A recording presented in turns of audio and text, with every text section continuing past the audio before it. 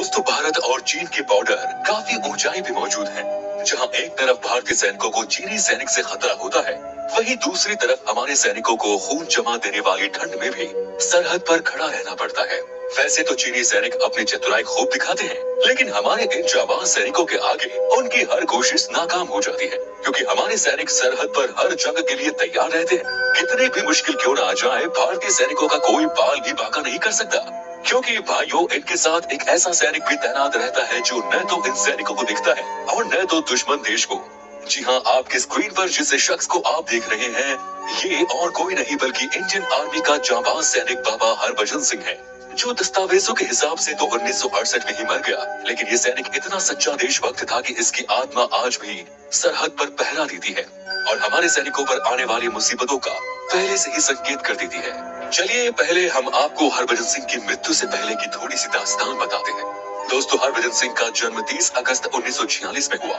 वैसे तो ये ड्यूटी इंडियन आर्मी के लिए करते थे, लेकिन हरभजन सिंह का जन्म पाकिस्तान के सरदाना गाँव में हुआ। हरभजन सिंह 9 फरवरी 1966 को भारतीय सेना की पंजाब रेजिमेंट के 24वें बटालियन के रूप में नियुक्त किए गए और कुछ समय के बाद 1968 में India China border Nathula pass पर इनकी तैनाती की गई, जो कि ईस्ट सिक्किम में मौजूद है। आपकी जानकारी के लिए बता दें कि इस जगह पर खून जमा देने वाली ठंड और भारी बर्फ़ गिरती है। लेकिन इसके बावजूद भी भारत माता के वीर पुत्र सरहद पर हर संकट का सामना करने के लिए तैयार रहते हैं। अब दोस्तों शायद ये बात आपको भी पता होगी कि उस समय पर भारी वजनी सामान को लाने ले जाने के लिए घोड़ों को इस्तेमाल किया जाता था।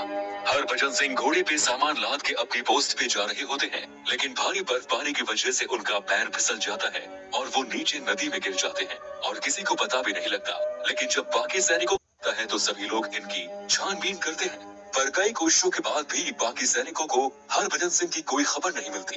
अब आप सुनकर चौंक जाएँगे कि दो दिन बीत जाने के बाद हरभजन सिंह की सैनिकों की टोली में से एक जवान के सपने में हरभजन सिंह आते हैं और बताते हैं कि उनका शव कहाँ पड़ा है। अब कुछ सैनिक उसी जगह पर जाते हैं जिस जगह के बारे में सपने में आया था।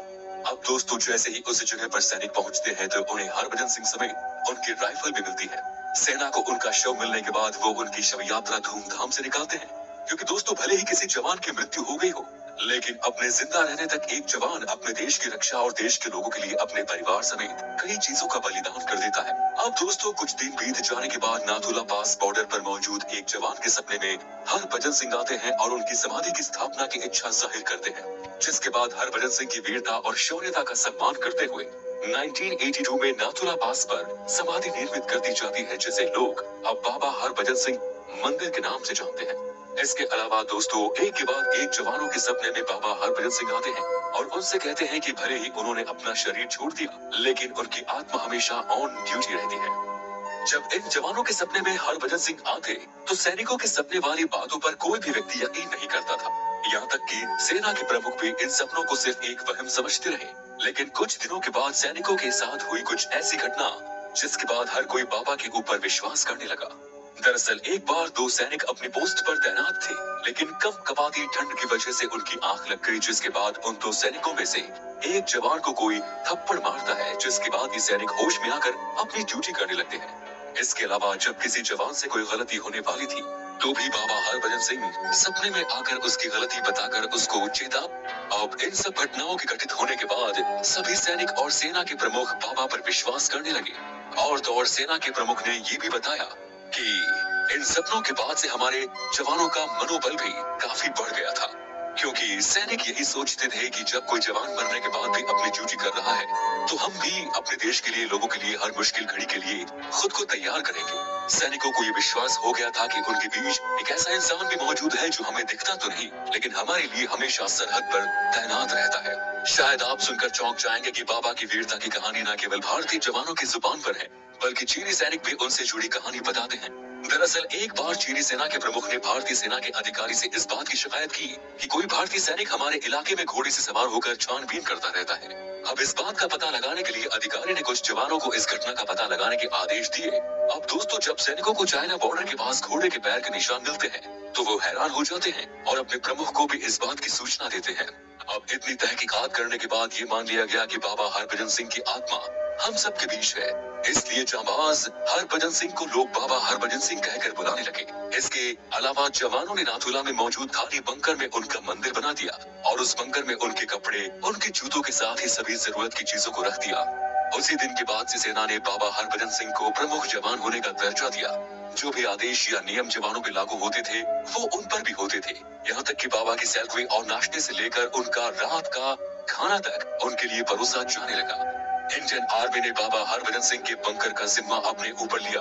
और आप सुनकर हैरान हो जाएँगे कि जब भी रात का समय होता था, बाबा के बंकर का दरवाज़ा बंद कर दिया जाता था, क्योंकि ये उनकी ड्यूटी का समय होता था। और आपको बता दें कि कई बार ऐसा भी हुआ है जब सुबह के दौरान सैनिकों को उनके जूतों में मिट्टी और बिस्तर बिखरा हुआ दिखा था। दोस्तों, इन्हीं सब बातों की वजह से हमें भी इन बातों पर विश्वास करना चाहिए कि सच में कोई ऐसा भारत का वीर था जो अपने देश के लिए मरने के बाद भी अपनी ड्यूटी करता था। ताकि हम और आप अपने घरों में सुरक्षित रह सके। आपको ये तो पता ही होगा कि देश के जवानों को हर साल छुट्टी भी दी जाती है।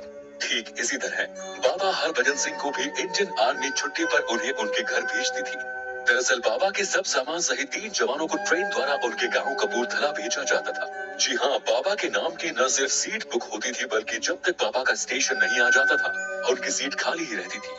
दो महीनों की छुट्टी पूरी होने के बाद दो जवान फौजी जीप से उनके घर तक उनको लेने जाते। दोस्तों, बाबा हरभजन सिंह को छुट्टी देने के बाद सेना के सभी जवान सिक्किम वैली पर चौकन्ना रहा करते थे, क्योंकि उन्हें ये पता था कि इस समय बाबा छुट्टी पर हैं। इसलिए किसी भी तरह की चेतावनी बाबा नहीं दे पाएँगे।